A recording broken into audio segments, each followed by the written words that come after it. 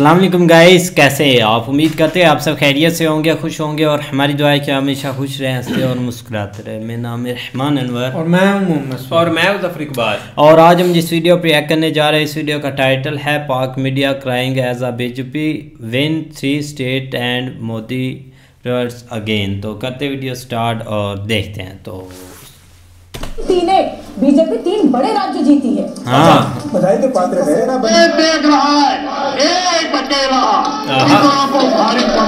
हाँ।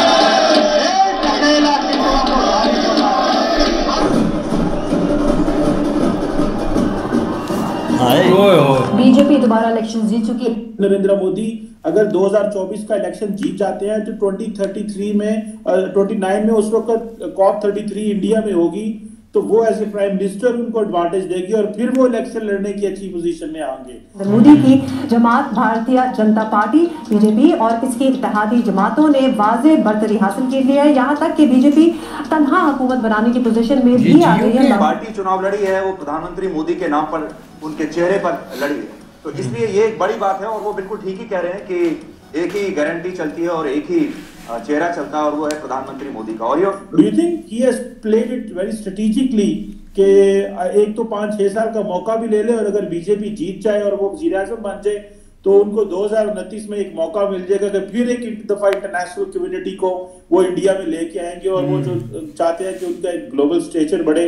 He is playing it from that perspective. करें आप बरतानवी अखबार द गार्डियन ने सुर्खी ये लगाई है, आज की जो हेडलाइंस है उनकी, उसमें उन्होंने क्या कहा है जी Narendra Modi from impoverish tea seller आपको पता है पहले वो चाय बेचते थे to master of political theatre ये कहा गया है बात तो बिल्कुल वैसे सही हो रही है। आज इंडिया को देखो कहाँ से कहाँ चला गया ठीक है ना? उनका बच्चा बच्चा उनका स्कूल एजुकेशन लेवल देखो उनका ठीक है ना सॉफ्टवेयर सेक्टर देखो उनका मेडिकल सेक्टर देखो उनका कौन कौन सा सेक्टर मैं बताऊँ जो ना नई तरक्की में हर आज हर फ़ील्ड में तरक्की में किसकी वजह से? प्राइम मिनिस्टर मोदी की वजह से ठीक इसलिए है तो कहते हैं कि मोदी है तो मुमकिन है। जय हिंद दोस्तों।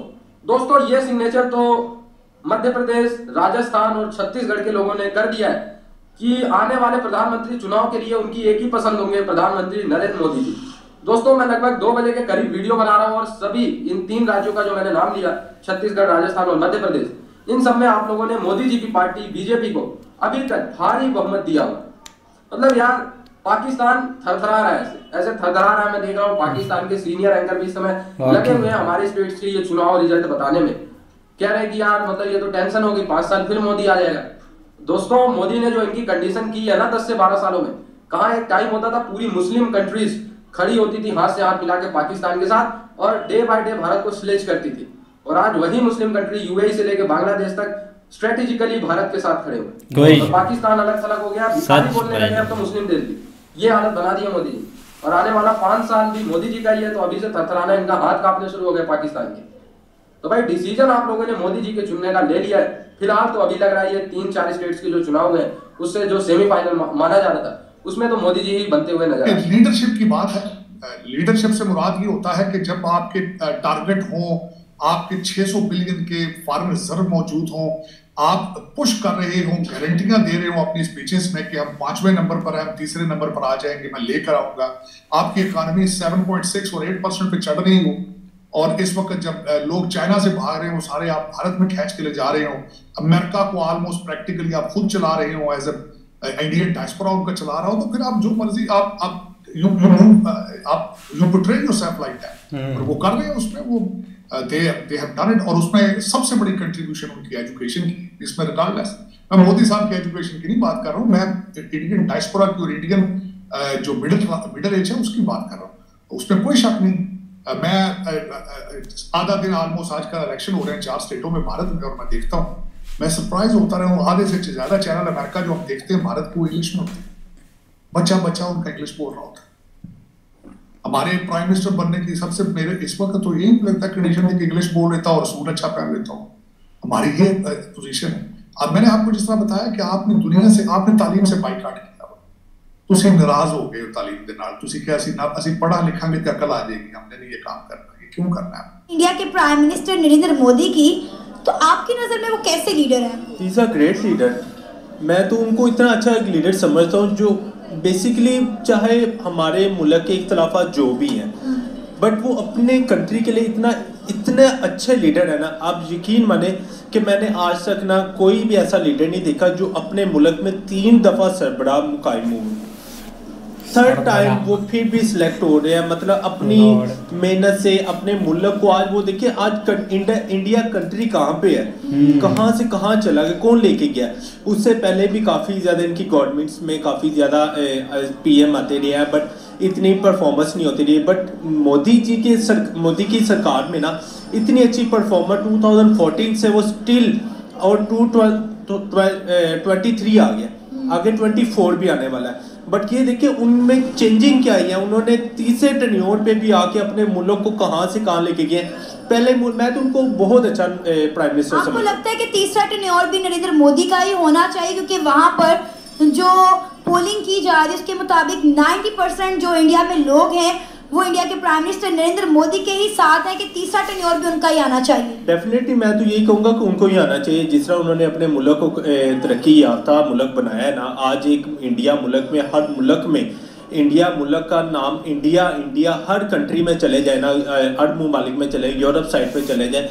इंडिया इंडिया क्यों होता है? सिर्फ़ एक प्राइम मिनिस्टर की वजह से होता है, ठीक है? गवर्नमेंट अच्छी हो, एक प्राइम मिनिस्टर अच्छा हो ना तो वो ही अपने मुल्क का नाम रोशन करता है। तो इसने आप देख लेना कि आज के दौर में अभी आके देख लें, क्या नहीं उनकी तरक्की है? उनके डैम देखे, उन्होंने डैम्स बनवाए, ten to fifteen twelve, ten to twelve dams बनवाए। उसके बाद उन्होंने ये जो ऊपर जहाज़ ऊपर चाँद पे जाने का उन्होंने तजर्बा किया, वो भी कामयाब हुआ। उनकी टेक्नोलॉजी देखे ईच एंड एवरीथिंग उनकी गवर्नमेंट में सक्सेसफुल रही है। कोई ऐसी नहीं है कि कोई उनको हारे नहीं है वो इस चीज़ पे। हर चीज़ पे उन्होंने अपनी तरक्की याफ्ता मुल्क की तरफ़ लेके गया और आज भारत का नाम सबसे बड़ी चीज़ मैं ना गवर्नमेंट इन प्राइम मिनिस्टर ये जो मोदी सरकार है इनको सिर्फ़ इस चीज़ पे अप्रिशिएट कर जो इन्होंने मेड इन इंडिया का नाम हाँ, बिलीव करें। मेड इन इंडिया जो है कंपेन इंडिया के प्राइम मिनिस्टर नरेंद्र मोदी ने आकर स्टार्ट की थी और आज देखें इंडिया में सुई से लेकर जहाज़ बन रहे हैं मजाइल बन रहे हैं। डेफिनेटली वही ना देखे ना, अब उनको बाहर जाने की नहीं पड़ती। वो उन्होंने किसी भी कंट्री के साथ कोई भी मुहदा करने की ज़रूरत नहीं पड़ती। वो अपने मुल्क में सुई भी ईच एंड एवरीथिंग उनके medical tech technology each and everything वो अपने कंट्री में कर रहे हैं। टाटा सबसे बड़ी कंपनी जो अपने मुल्क में लेके आया उसके बाद उन्होंने हर चीज़ अपने मुल्क में फैसिलिटीज़ पैदा की है और अपने मुल्क के लोगों को बाहर को जाने के बजाय उन्होंने अपने मुल्क में कहने यहाँ पे नौकरी करा हमारे मुल्क में आपने देखा होगा, हमारी कंट्री में क्या है? हमारे कंट्री में से आज तक 1947 से लेकर 2023 आ गया। कोई भी ऐसा प्राइम मिनिस्टर बता दे जिसने पाँच साल पूरे किए हुए। Maximum three years four year four years या forty four years and within one month या टू मंथ या इसके बाद उसका टेन्योर खत्म हो जाता है उसके ऊपर कोई ना कोई एलिगेशन आ जाते हैं कोई कोई इल्ज़ाम आ जाते हैं। स्टेबिलिटी नहीं है ना इसलिए तो हमारा मुल्क आज इन हालात में है। अच्छा आपको पता है कि इंडिया के प्राइम मिनिस्टर नरेंद्र मोदी का कहा जा रहा है कि अगला टेन्योर भी उन्हीं का होना है जिसकी वजह से पाकिस्तान में खलबली से मच हर मुसलमान के जिस तरह आपका जो आइडियोलॉजी है कि या तो सारी दुनिया मुसलमान हो जाए तो या आप सारी दुनिया का सर काट दे तो ये इस तरह तो नहीं होता। तो आप आप मिडिल वे आपने ढूंढे हो, तालीम की तरफ़ जाए, अकल खुल जाती अब एक बड़ा खूबसूरत हालाँकि है चीज़? कहते हैं, छतरी और दिमाग जब तक खोलेंगे नहीं, वो काम नहीं करेगा। आप उसको खोलने के लिए तैयार ही नहीं आपको इस गैरिजन स्टेट से आगे पढ़ना होगा। ਹੁਣ ਤੇ ਜੰਗ ਹੁੰਦੀ ਵੀ ਡਰੋਨਾਂ ਨਾਲ ਹੋਣੀ ਤੇ ਕੰਪਿਊਟਰਾਂ ਨਾਲ ਹੋਣੀ ਉਧਰ ਤਵੱਜੋ ਦਿਓ ਯਾਰ ਤੁਸੀਂ ਕਿਹੜੇ ਚੱਕਰਾਂ 'ਚ ਪੈ ਗਏ ਤੁਸੀਂ ਅਜੇ ਕਹਿੰਦੇ ਅਸੀਂ ਖੋਤਿਆਂ ਤੇ ਜਾ ਕੇ ਜਿਹਾਦ ਕਰਨਾ ਪਤਾ ਨਹੀਂ ਮੇਰੇ ਮੱਕੀ ਕਰ ਲੱਗੇ ਹੋ ਯਾਰ ਤੁਸੀਂ ਔਰ ਤੁਹਾਨੂੰ ਲੋਕ ਬੇਵਕੂਫ ਬਣਾ ਰਹੇ ਤੁਸੀਂ ਪੜ ਰਹੇ ਮੈਂ ਕਈ ਵਾਰੀ ਕਹਿ ਬੈਠਾ ਤੁਹਾਨੂੰ ਜਿਹਾਦ ਦੇ ਰੋਜ਼ ਪ੍ਰਚਾਰ ਕਰਨ ਵਾਲੇ ਆਪਣੇ ਬੱਚੇ ਸਾਰੇ ਲੰਡਨ ਦੇ ਟੋਰਾਂਟੋ ਦੇ ਕੋਈ क्या करूं और मौलाना तारू कादरी भी कैनेडियन जो खुदा दा ना है यार तो दोस्तों आप लोगों ने देख लिया फिलहाल जो तीन स्टेट्स की जनता है राजस्थान मध्य प्रदेश और छत्तीसगढ़ इन्होंने डिसीज़न लिया है कि ये मोदी जी के पार्टी के साथ जाएँगे। और दोस्तों जो इस तीन स्टेट्स में बीजेपी की जीत हुई है कहीं ना कहीं सबका अपना अलग ओपिनियन हो सकता है। आ, लेकिन मेरे ख्याल से दोस्तों जो जीत का बिगेस्ट फैक्टर है वो अकेला प्रधानमंत्री Narendra Modi ji. To be very honest हालाँकि जो स्टेट्स के उनके लीडर्स थे चाहे एमपी में शिवराज और भी जो भी कोई है आ, मतलब मैं नाम नहीं लेना चाह रहा दोस्तों उन्होंने भी बहुत मेहनत की है। जो उस राज्य के लीडर्स थे बीजेपी के उन्होंने मेहनत की है नो डाउट लेकिन दोस्तों, मेरे ख्याल से जो मेहनत प्रधानमंत्री नरेंद्र मोदी जी ने की है देश के लिए, उस देश की मेहनत को देखकर जनता ने प्रधानमंत्री नरेंद्र मोदी जी की पार्टी को वोट दिया। ये मेरी अपनी ऑब्जर्वेशन ठीक है दोस्तों, खैर इससे साफ़ हो गया आप लोगों को कि आने वाले जो प्रधानमंत्री का चुनाव है, वो मोदी जी इजीली जीत जाएँगे और पाकिस्तान, चाइना, तुर्की, इन जैसे जो देश है, वो अभी से नज़र बनाए हुए हैं भारत के इस चुनाव पे। मैं देख रहा था काफ़ी मीडिया कवरेज तुर्की वगैरह की भी चाइना की भी ग्लोबल टाइम देगा। हाँ काफ़ी कवर कर रहे थे बिल्कुल भाई सही बात है क्योंकि आज के जो इलेक्शन है ये बहुत इम्पोर्टेंट थे। और इसी इसीलिए हर एक की जो नज़र है चाहे जो कोई भी कंट्री है ना उनकी नज़र मेन इसी चीज़ पर थी। क्योंकि आगे आने वाले उन्होंने एक अपनी ट्रेड को देखना अपना आगे कारोबार देखना। ऐसी चीज़ें जब वो देखते हैं कि आगे आने वाली हुकूमत है, पीएम मोदी जी हैं तो इलेक्शन होंगे कि वो जीत पाएँगे या नहीं? क्योंकि अगर बैड परफॉर्मेंस होती तो फिर कोई शक नहीं है, वो एक स्टेट से भी नहीं जीत सकते थे पीएम मोदी जी। लेकिन उनकी एक अच्छी परफॉर्मेंस थी, जिसकी वजह से अब जहाँ भी इलेक्शन हुए, वहाँ से पीएम मोदी जी सुकून से और अच्छी खासी लीड से जीते हैं। सोलह करोड़ बंदा निकला है जिन्होंने निकल कर वोट दिया। थोड़े बंदे नहीं, एक एक दुनिया ऐसे हिल गई होगी जब सोलह करोड़ बंदे का सुना होगा। और मेन बात यही है कि एक पाकिस्तानी मीडिया पर आ जाएँ तो इनका एक यही था कि इन्होंने जैसे एक मतलब एक बनाया हुआ था कि पीएम मोदी कभी नहीं जीत सकते अब, जैसा उनकी एक हुकूमत जा रही है या जो वो एक काम कर रहे हैं जिसकी वजह से वो अब नहीं जीत पा, पाएँगे। लेकिन अब वो उसका एक जब उल्ट हुआ है ना, तब जहरी सी बात है, लोग बोलेंगे भी कि ये क्या हो गया पीएम मोदी जी हार रहे थे या चीज़ें इस तरह चल रही थी। लेकिन बहुत अच्छी चीज़ें होगी। बाकी सही बात है अगर भाई एक हाँ जी। पाकिस्तानी मीडिया की बात करें ना तो यार, वाकई इनको एक मतलब कि भाई सही बोल रहा है कि थर थरा काँप रहे हैं। क्योंकि आगे एक कांपना ही है कि मतलब कि आगे जो चीज़ें होनी है ना, वो इनके लिए काफ़ी मुश्किल हो जानी है। अब सबसे बड़ा जो मुद्दा होना है ना, वो कश्मीर पर होना है। एक जो भी मतलब कि इनके स्लीपर उधर एक कश्मीर में एक्टिव थे। पहले भाई पीएम मोदी की गवर्नमेंट ने उनको खींच कर रखा हुआ था। अगर इस दफ़ा भी वो एक पावर में आते हैं तो फिर भाई एक मुझे लगता है कि काफ़ी चीज़ें चेंजिंग को एक मतलब के देखने को मिलेगी। अब पाकिस्तान का यही स्टैंड है कि भाई अगर एक कांग्रेस आती है राहुल गांधी जी की भाई एक हुकूमत तो हम एक मतलब के एक टेबल पर बैठ कर या एक सुलह सफ़ाई से कुछ चीज़ें या ट्रेड ओपन करेंगे।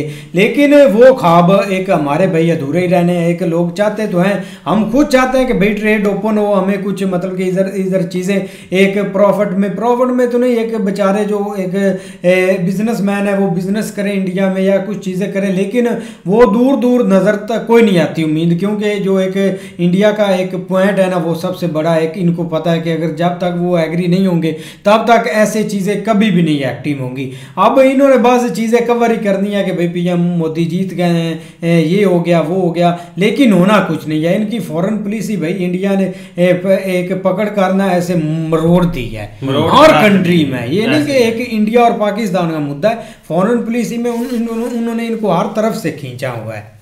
नहीं, बिल्कुल ऐसे ही है, लेकिन ये कि यहाँ का मीडिया जो है ना, उसका हमेशा से यही एक टास्क रहा है कि भाई जब भी इंडिया में इलेक्शन आते हैं या पी एम मोदी जी को इलेक्शन जीतने की ज़रूरत होती है तो वो एक बॉर्डर के ऊपर या इस तरह का कोई ना कोई सानिया इन्होंने क्रिएट करना होता है। जो कि एक अब तक हम यही समझते रहते कि ऐसा होता है, और बहुत सारे लोग, क्या आप कह लें कि 95 परसेंट या 99 परसेंट लोग यहाँ पे इस चीज़ के ऊपर बिलीव भी करते हैं। क्योंकि इनको नहीं पता कि परफॉर्मेंस के ऊपर भी इलेक्शन होते हैं किसी जो है ना, वो और भी बहुत सारी चीज़ें होती हैं जिसकी वजह से लोग इलेक्शन जीतते हैं। तो वो आपके सामने अब आप रिज़ल्ट देख लें कि यहाँ पे उनको किसी चीज़ की ज़रूरत ही नहीं पड़ी। शुरू से लेकर आप तक ठीक है कंपेन करना एक इम्पोर्टेंट होता है किसी भी पार्टी के लिए, किसी पार्टी के लीडर के लिए। लेकिन उन्होंने भाई एक दफ़ा प्रूफ करके दिया कि वो बगैर किसी ऐसी एक फोर्स के, बगैर किसी ऐसे जो मतलब एक बहाने वगैरह बनते हैं, या बहुत सारे इल्ज़ाम लगते हैं उनके उन्होंने भाई अपना इलेक्शन जीता जो कि एक सेंटर था और सेमीफाइनल था वाकई उन्होंने भाई इस चीज़ को एक जो है ना वो जीत के दिखाया। बाकी भाई अवाम का अतमाद होना बहुत ज़रूरी है किसी भी क्योंकि हमने ये चीज़ें इधर देखी नहीं हमारे लोग जो है ना वो पहले ज़रूर एक लीडर की तलाश में थे कि हमें कोई ऐसा लीडर मिले लेकिन ये कि एक एक टाइम ऐसा पाकिस्तान में अब आ गया कि यहाँ पे वो एक चीज़ है ही नहीं मतलब एक लीडरशिप वाली या आगे कोई मतलब एक एक सिविलियन की तरफ़ के कोई बंदा एक वोट के दम के ऊपर आगे जा आएगा या एक वोटिंग होगी या उसके ऊपर एक वोट की कदर होगी। अगर इंडिया में एक भी वोट पड़ रहा है ना तो उसका भाई एक उसकी कदर है, वो एक काउंटिंग में जाता है। लेकिन ये कि अनफॉर्चुनेटली ये चीज़ें हमारे यहाँ थोड़ी सी बहुत पीछे हैं हम इस चीज़ के ऊपर, क्योंकि आप ले लो, दुनिया कहाँ से कहाँ निकल गई उधर वहाँ पे एक मशीन मशीन एक ईवीएम मशीन के थ्रू वोटिंग होती होगी इंडिया में। लेकिन इधर अभी भी हम जो है ना, वो शिनाख्ती कार्ड पकड़ा होता है, एक कागज़ सामने होता है, उसके ऊपर जाके नाम अपना फाइंड करना, उसके ऊपर फिर वहाँ से पर्ची ले जो है ना, वो आगे जाके हमने एक वोट काउंट जो है ना, वो कास्ट करना होता है। लेकिन वहाँ पर थोड़ा सा सीन जहरी बात है, दुनिया आगे से आगे जा रही है, हर चीज़ को इम्प्रूव कर दी है, क्योंकि उनको पता है कि हमने आगे कर जाना है, करना है, जो लोगों के लिए एक एक बेहतर है। लेकिन ये चीज़ें इधर खैर नहीं है। बाकी भाई इनकी चीख बाकी नहीं बाकी आप है कि पाकिस्तान का जो पॉइंट था ना ये एक खुद में तीस मार खान बने हुए थे। कि लोग हमें चाहते हैं एक लोग हमारी रिस्पेक्ट करते हैं। हमारी एक पावर है अगर कुछ चीज़ें होती है तो हम एक जाकर चीज़ें संभालते हैं। लेकिन उसके इस मतलब के दो तीन साल में वो चीज़ें सारे इनके अपोजिट हो गई हैं। एक ये कुछ भी नहीं है। आप देखो ना कि एक कंट्री जो होता है वो ये नहीं कि वो एक मतलब कि एक ताए की कंट्री है चाचे की कंट्री है। ये कंट्री के जो अपर लेवल के मामले होते हैं ना वो कंट्री जानती हैं। हम्म। अब इंडिया के पास पावर है तो भाई वो मनवा रहे हैं। हाँ हर चीज़ की उनकी पावर है तो एक रिस्पेक्ट उनकी करना एक मजबूरी होती है क्योंकि पावर है भाई इंडिया के हम्म। पास। अब देख लो एक इन्होंने एक इधर ये बनाया हुआ था कि हमारे पास पावर है लेकिन उसका कुछ भी नहीं हुआ। अब जब ये रशिया यूक्रेन का मामला हुआ तो एक उनसे ऑयल लिया कि नहीं? मतलब कि तेल है तेल लिया कि नहीं? गैस लिया कि नहीं? हर चीज़ एक वेपन खरीदे हैं या नहीं? सब उन्होंने खरीदा है। सब नहीं चीखते रह गए अमेरिका अमेरिका तक कि आप ये क्यों कर रहे हैं? आपके हाथों में एक हमारा खून है एक यूक्रेन के बच्चों का लेकिन कुछ भी नहीं है क्योंकि उनके पास पावर है वो पैसों से चीज़ें ले रहे हैं इसमें किसी को डाउट नहीं है। अब जब सबसे बड़ा एक स्टैंड एक लोगों का आँखें खुली थी ना जो ये मतलब कि मिसालें देते थे कि अमेरिका के अंडर चल रहा है इंडिया एक उनकी पुलिस ही है लेकिन कुछ भी नहीं है। वो मामला खुला था कैनेडा वाला जब इन्होंने हम्म। अपने डिप्लोमेट उधर से निकाला था एक कैनेडा ने तो इन्होंने भाई एक इंडिया ने इधर से उसी टाइम निकाल दिया था। तब पता चला था कि ये होती है पावर भाई। और पीएम मोदी ने भाई आप देख लो उन्होंने इतने काम भी करवाए हैं। वंदे भारत आपके सामने। और हर चीज़ तो काम पर आए तो वो लाखों काम हो गया लाखों प्रोजेक्ट लंबी लिस्ट है आप यहाँ से इंडिया चले जाए फिर भी ऐसे ऐसे काम हुए बिल्कुल। बाकी अच्छी वीडियो थी। उम्मीद करते हैं आपको पसंद आएगी। अगर पसंद आए वीडियो को लाइक चैनल को सब्सक्राइब ज़रूर कीजिएगा। मिलते हैं नई वीडियो के साथ। तब तक के लिए गुड बाय टेक